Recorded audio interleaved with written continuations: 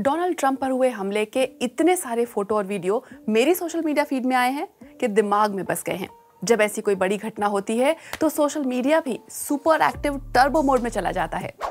और जब हमले का निशाना अमेरिका जैसे देश का पूर्व और शायद होने वाला राष्ट्रपति हो तो बड़ी हलचल तो मचनी ही थी।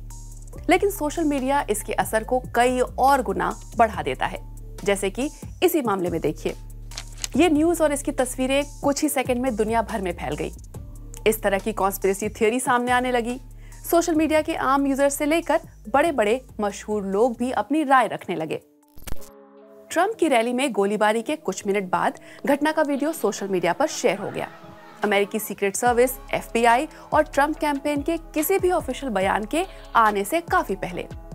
नतीजा ये हुआ कि बिना किसी ठोस जानकारी के सामने आए, इंटरनेट तरह तरह के साजिशों की कहानी से भर गया। इनमें से दो कहानियाँ खासी लोकप्रिय हुई। एक दावा ये कि हमला खुद ट्रंप और उनके कैंपेन ने ही करवाया है, ताकि वोटरों की सहानुभूति और वोट ले सकें। और दूसरा ये कि व्हाइट हाउस के आदेश पर ट्रंप को गोली मारी गई और सीक्रेट सर्विस जानबूझकर इतनी स्लो थी। ज़ाहिर है कि इन दोनों का कोई सबूत नहीं मिला। लेकिन फिर भी कुछ समय के लिए सोशल मीडिया ने पूरे समाज को बांट दिया। एक्स इंस्टाग्राम जैसी कंपनियों पर भावनाएँ उड़ेली जा रही थी, जबकि फैक्ट्स किसी के पास नहीं थे। और आज के समय में हम एआई को कैसे भूल सकते हैं? उसका भी इस्तेमाल हुआ। कुल मिलाकर सच और झूठ का पता लगाना और कठिन हो गया। जैसे एआई से बदली गई, इस फ़ोटो में सुरक्षा कर्मियों को मुस्कुराते हुए दिखा दिया गया। बहस पहले ही गर्म हो चली थी कि तभी इलॉन मस्क जैसे दुनिया भर में फॉलो किए जाने वाली शख्सियतों ने अपने अकाउंट पर पोस्ट करना शुरू कर दिया। एक्स के मालिक मस्क ने ट्वीट किया कि वो ट्रंप का पूरी तरह से समर्थन करते हैं। ये ट्वीट एक्स पर खूब फैली। एक एक कर साजिश भरी कहानियों के समर्थक जुटते गए। कई नेताओं में भी ऐसे निराधार दावे फैलाने की जल्दी दिखी। रिपब्लिकन नेता मार्जरी टेलर ग्रीन और डेमोक्रेट नेता एंटोनियो पार्किंसन को ही लीजिए। सच ये है कि दोनों ही तरफ़ के ज़्यादातर नेताओं ने ट्रंप पर हमले की कड़ी निंदा की थी। लेकिन सोशल मीडिया के एल्गोरिदम ऐसे हैं कि हमारी फ़ीड में ज़्यादा चटकारों वाले, हमें आपस में बांटने वाले कंटेंट कहीं ज़्यादा दिखते हैं।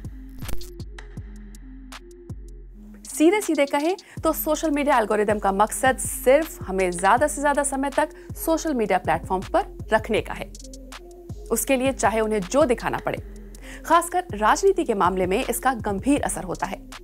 यूज़र का ध्यान खींचने और उन्हें ऐसी साइटों पर बनाए रखने में इमोशनल बातें किसी भी फैक्ट से ज़्यादा कारगर दिखाई देती हैं।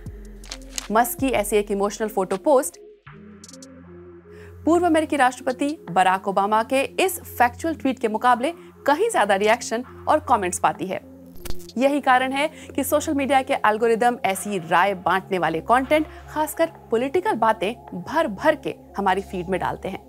कई प्लेटफॉर्म्स इस समस्या के उपाय खोज रहे हैं। जैसे फरवरी में इंस्टाग्राम ने कहा था कि अब वो किसी अकाउंट से पोस्ट किए गए पॉलिटिकल कंटेंट को केवल उसके फॉलोअर्स की फ़ीड में ही भेजेगा। नए लोगों को रेकमेंड नहीं करेगा।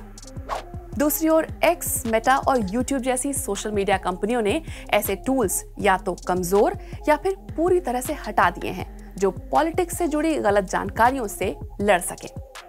यही कारण है कि आपको वहाँ हर तरह की झूठी सूचनाएँ, साजिशें और लोगों में गुस्सा जगाने वाली, यानी रेज बेट खूब दिखती है। हम जो कुछ भी ऑनलाइन देखते हैं, उसे सच मान लेने के बजाय सावधान रहना चाहिए। ध्यान दीजिए कि किसी भी मीडिया नहीं, केवल अपने भरोसे के मीडिया चैनल्स को ही फॉलो करें। किसी भी बात के सोर्स पर सवाल करें। अगर पोस्ट में ये साफ़ नहीं है तो उसे सच न माने। ये भी देखें कि क्या किसी बात की पुष्टि और किसी सोर्स से हो सकती है। अगर न्यूज़ सच है तो बाकी जगहों पर भी मिलनी चाहिए। देखिए कि किसी भी दावे को साबित करने के लिए कौन से सबूत दिए गए हैं। आजकल फैक्ट चेक के बिना कुछ भी मानने लायक नहीं है। आँखों के साथ साथ दिमाग भी खुला रखिए। फिर मिलेंगे।